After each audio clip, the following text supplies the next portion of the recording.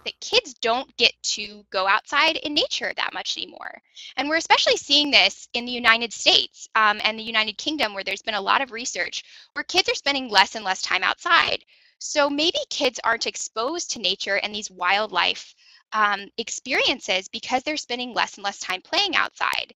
And in 2009, there was a big survey that was an international survey that asked mothers how often their children explored nature.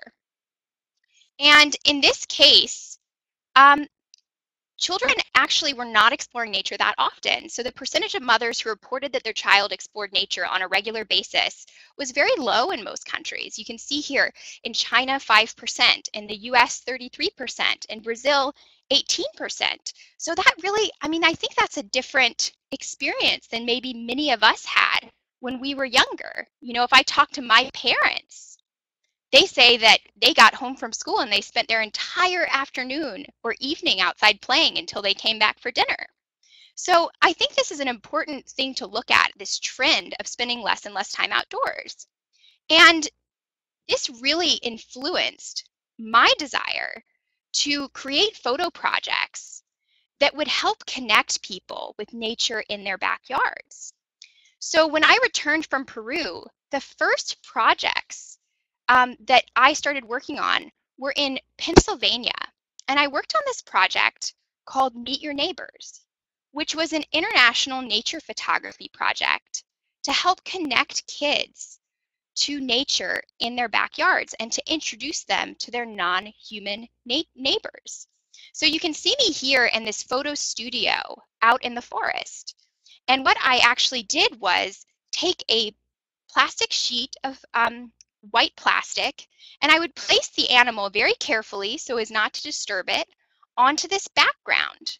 And I would take photos that would create these beautiful white backgrounds and would allow me to blow up these animals to larger than life sizes in photo prints. So here you see a turtle.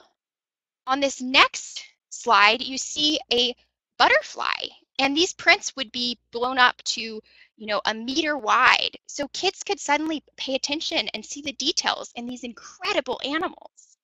And it was a really great experience.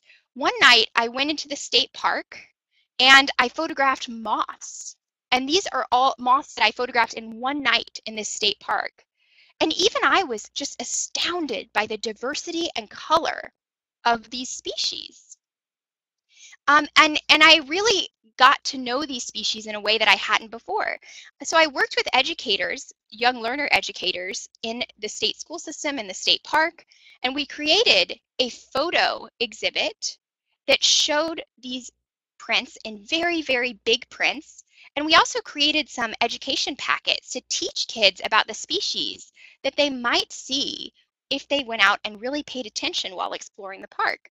And the really neat thing about this project is that adults who had been going to this park for their entire lives never knew that these species existed. So I think that it's a really great way to connect kids with the amazing nature locally. And so although I did this near my home in Pennsylvania, I've also taken this idea of nearby nature to other countries where I visited and worked. And as Dave said earlier, I spent about six months in the Indian Ocean um, on the island of Mauritius last year, working on a project to document Mauritius's endangered species. So I was working um, with the Mauritian Wildlife Foundation, which is a local nature conservancy that wants to talk about species conservation. So I just have a quick question for you guys. Do you know what this species is? You can you can just type in, aha, I'm getting it. You guys are all getting it. It's the dodo. It's the dodo bird. So Mauritius is really famous for being the former home of the dodo. And the dodo was this bird that was driven to extinction within 100 years of its discovery. The dodo is kind of a mascot of Mauritius. Every kid knows about it, but kids don't know about the species that still live in the country. And so I started to work with the Mauritian Wildlife Foundation to create a project where we would create compelling images of these remaining species to help reconnect kids with nature. So here's one of those species, and this is actually a pretty incredible story. This is the Mauritius kestrel.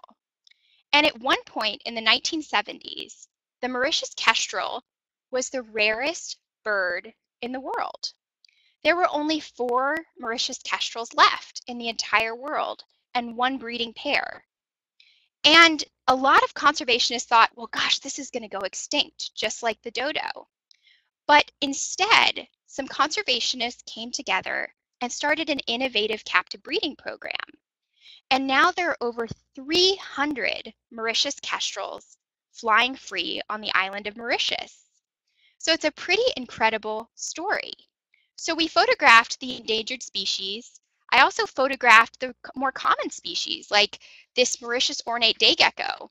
This species runs around in people's houses all over the island, and yet most people never take the time to look closely at it. So we were trying to show these species the ones that aren't endangered yet, before they become rare or threatened.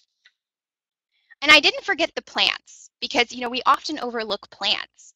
Um, this is the Cafe Marron, and it's one of 50 species of plants in Mauritius that is critically endangered and has less than 10 individuals or 10 plants of this species remaining in the wild.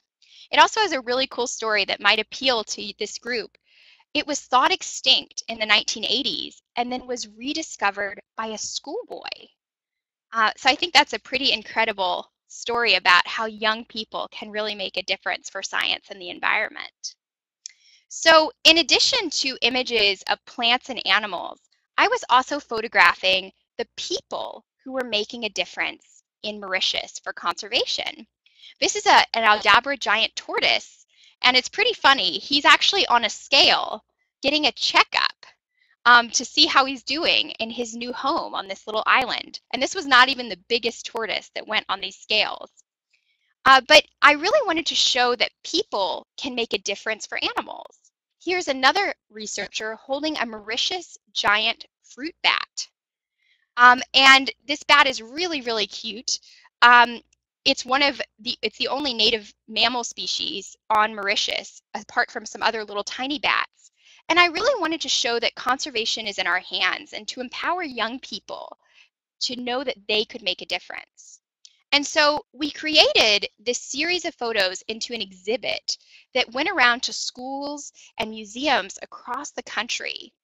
And for many of these students, these images represented their very first exposure to these species. So I think this type of effort is incredibly important, this effort to connect kids with nature. And I, I just want to take one moment, if you guys can imagine with me what it would be like if we connected kids to nature in their backyards everywhere. If we did it really effectively, if we made young learners care about being environmentally responsible, we might not even need international conservation organizations, right? If we all protected the forests and rainforests in the places where we live, we could make a huge difference for conservation.